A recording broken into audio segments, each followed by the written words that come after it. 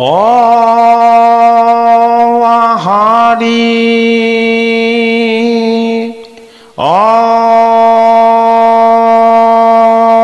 Ram Krishna.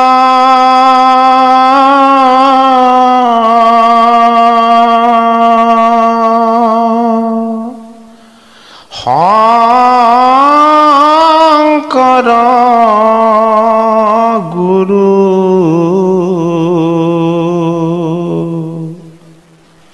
Hari Ram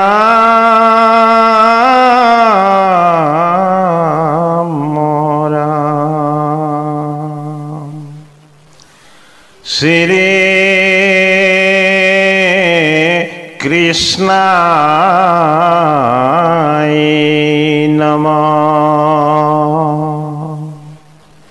হে কৃপালু বৈষ্ণৱ সমস্ত আমি ক্ৰমশ আগবঢ়াই অহা মাধৱ মহাপুৰুষৰ নামঘোষা শাস্ত্ৰৰ পাঠ আৰু পৰ্যালোচনাৰ অনুষ্ঠানলৈ আপোনাৰ সমস্ত সেৱা জনাইছোঁ। আজিৰ আমাৰ পাঠ আৰু পৰ্যালোচনা পদচন্দৰ উপদেশৰ চাৰিশ বাইছ নম্বৰ যোগাঘোষাৰ পৰা। অজিত ৰাম কৃষ্ণ হৰি।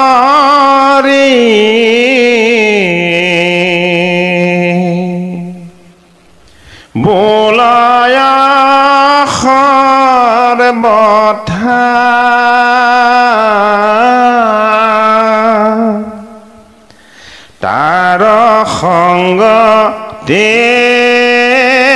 তেজি হৰি যাইব আৰ কোঠা।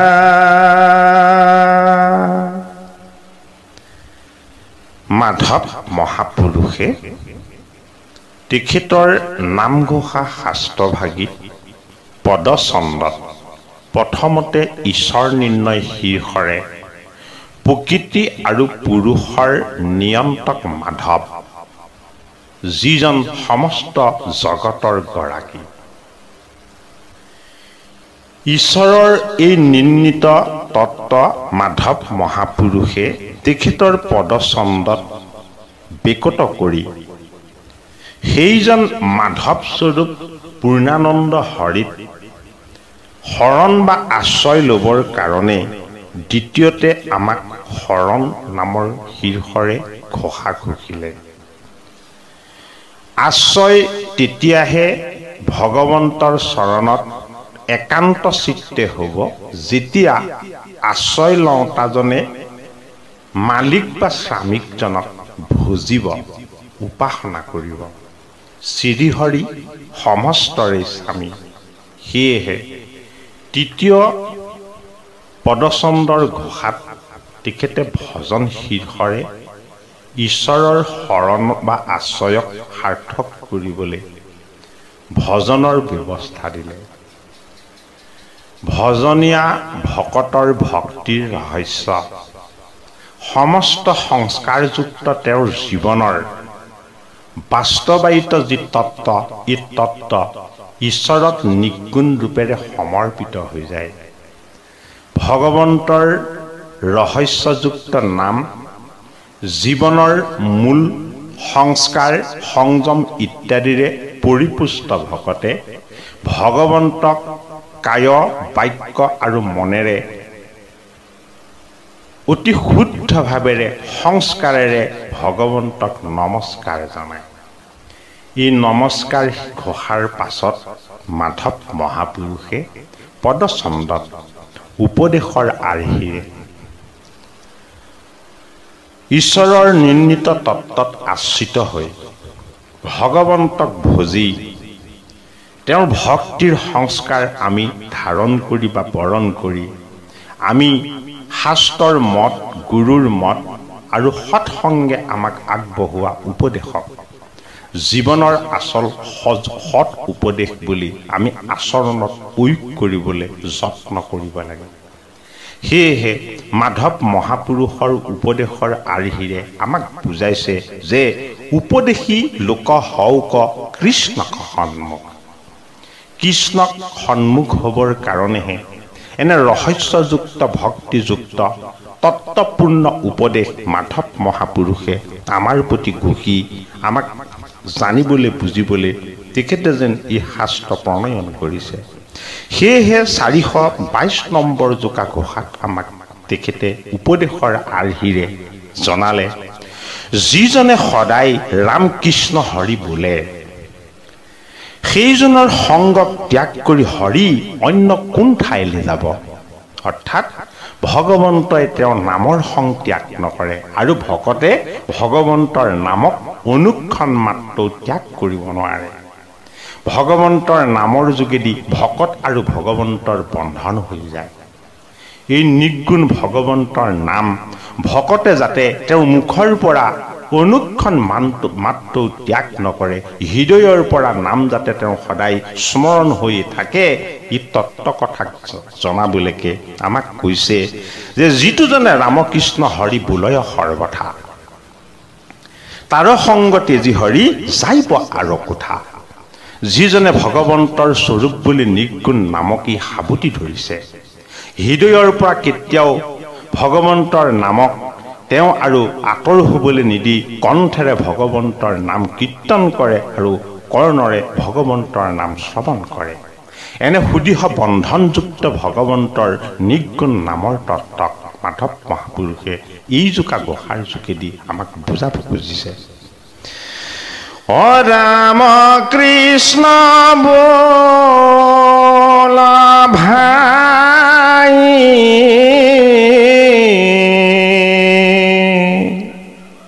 ৰাম কৃষ্ণ বোলা কোটি কোটি বমান্দ না মৰ নোহে মোলা। কোটি কোটি বমান্দ না মৰ মোলা।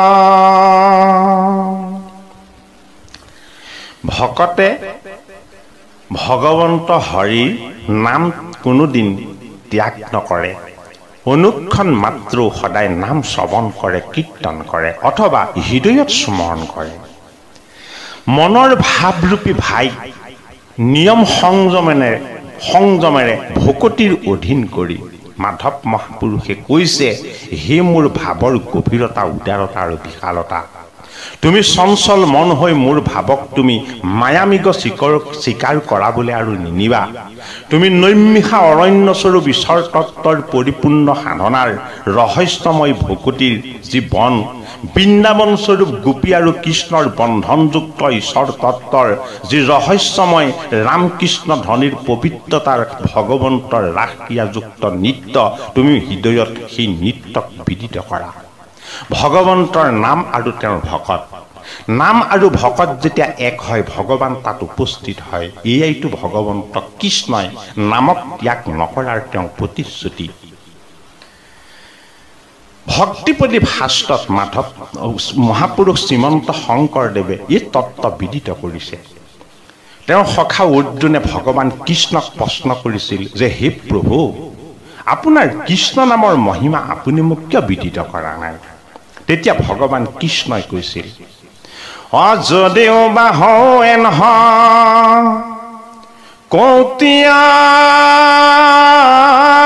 বতাৰ।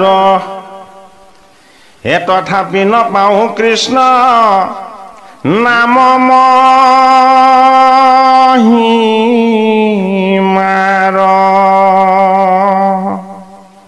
হে কৃষ্ণ নাম বলিষ্ঠবীৰ জৰণা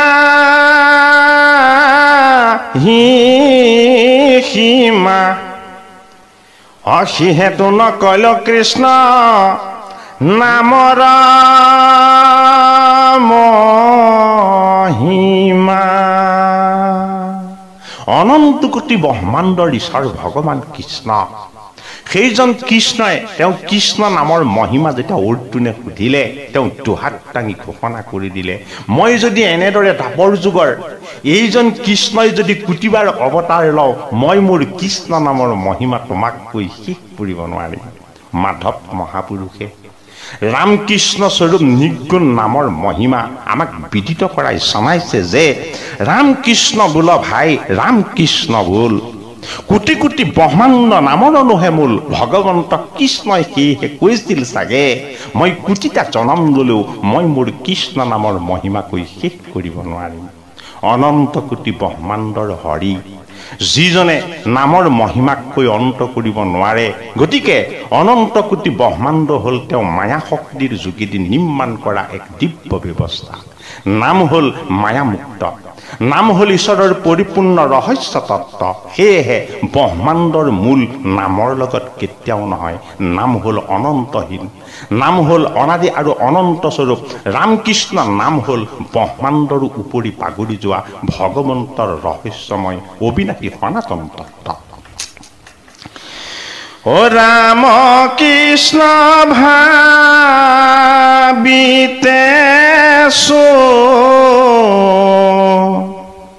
তয় কাল পাখ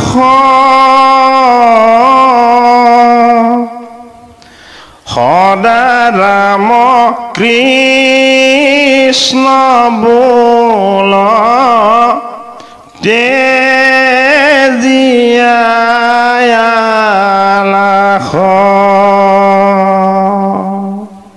চাৰিশ চৌব্বিছ নম্বৰ পদচন্দৰ উপদেশ ঘোষাত মাধৱ মহাপুৰুষে। নামৰ মহিমাৰ লগত আৰু মহিমা যুক্ত আছে বুলি আমাক জনালে যে ৰাম কৃষ্ণ বুলি যদি আমি ভাবিবলৈ হয় কালৰূপী বন্ধনৰ যি মায়াৰ পাশ এই মায়াৰ পাশডাল ছিন্ন হৈ যায়। আমাৰ ভাৱতেই ভগৱন্তৰ নিগুণ। ভগৱন্তৰ অনন্তমুখী স্বৰূপ যেন প্ৰকট হৈ উঠে।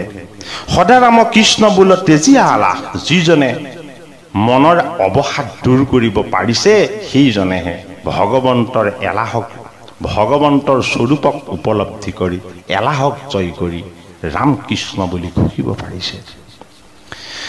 অহৰি গুৰু দেখেৱা খানা ডাঠি ধৰা। মন বৈৰী কাটি সুখে ভৱনতৰা মন বৰি কাটি সুখে ভৱনতৰা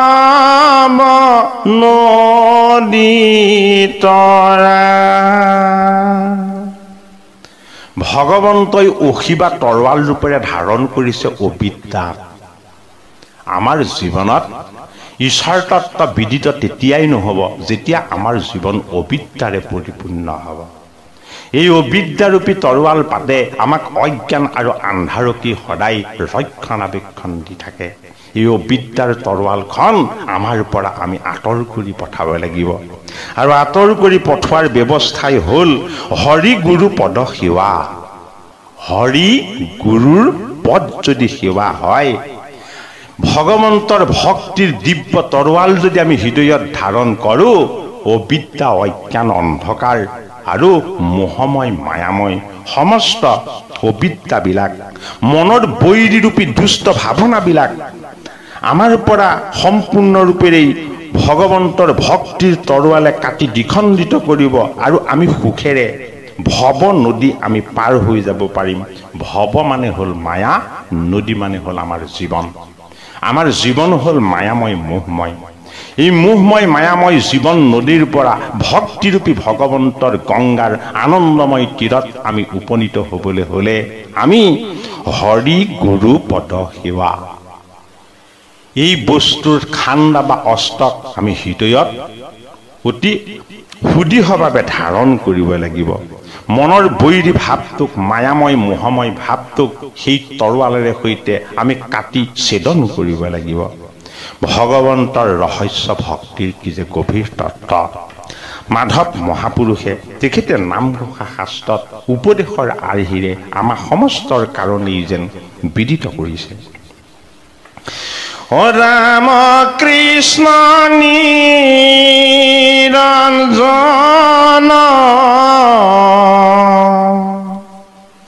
নিরঞ্জন হরি সদা রাম কৃষ্ণ বুলি যায়ো ভৱতৰি সদা ৰাম কৃষ্ণ বুলি যায়ো ভৱতৰি ৰাম কৃষ্ণ নিৰঞ্জন নিৰঞ্জন দুবাৰ বহিছে ৰাম নিৰঞ্জন কৃষ্ণ নিৰঞ্জন নিৰ মানে নাই অঞ্জন মানে কোলা ছাঁ বা দাগ। ৰাম যি কৃষ্ণ সি ৰাম যদি সত্য কৃষ্ণ হ'ল সত্যৰ মাজত লুকাই থকা ঈশ্বৰৰ ঐত্যান্তিক সুখৰ আনন্দ। ৰাম কৃষ্ণ হৰি ভগৱন্তৰ এক দিব্য স্বৰূপ। ৰাম যদি সত্য কৃষ্ণ যদি আনন্দ হৰি তেতিয়াহ'লে কৰোণাৰ আধাৰ। সত্য আনন্দ আৰু কৰোণা এই বস্তুৰ লগতেই ভগৱন্তই সদায় তেওঁ তত্ত্বক নিবন্ধিত কৰি অজ্ঞানৰূপী অবিদ্যাৰ পৰা আমাক মুক্ত কৰি ভগৱন্তৰ ভকতিৰ পবিত্ৰ পোহৰ আমাক দান কৰে নিৰ্মানে নাই অঞ্জন মানে কোলা ছাঁ। যিজনক সন্মুখ হ'লে আমাৰ জীৱনৰ অজ্ঞান অবিদ্যাবিলাক নাশ হ'ব ৰাম কৃষ্ণ হৰি নিৰঞ্জন নিৰঞ্জন হৰি। অৰ্থাৎ ৰাম কৃষ্ণ নিৰঞ্জন আৰু নিৰঞ্জন দুবাৰ ঘুচিছে কিয়? তোমাৰ লগত আত্মাৰূপী তেওঁ এই নিৰঞ্জন স্বৰূপ নিৰাকাৰ শক্তি তোমাৰ লগত দেহ তত্ত্ব ৰূপেৰে পঞ্চভূতৰ তেওঁই হ'ল নিগুণ নিৰাকাৰ নিৰঞ্জন শক্তি। হৰি আত্মাৰূপ হৰি নিগুণ নিৰাকাৰ আৰু নিৰাময়। সেই কৃপালো বাপ বান্ধৱাই সমস্ত। মাধৱ মহাপুৰুষৰ ঘোষা শাস্ত্ৰৰ ওচৰত আমিও তেনেই অতি মহমতী। ইমান সৰল ইমান কোমল ইমান মধুৰ অথচ ইয়াত লুকাই থকা তত্ত্ব মৰ্ম আৰু অৰ্থ ইমান জটিল ইমান গভীৰ। আমাৰ যেন অনুভৱেই সিমান গভীৰ হ'ব নোৱাৰে। মাধৱে যিমান গভীৰভাৱে তাৰ অৰ্থ তত্ত্ব বিকত কৰি ঘোষা ঘূৰিছে মাধৱৰ চৰণতো আমি শতকোটি প্ৰণাম জনাইছোঁ।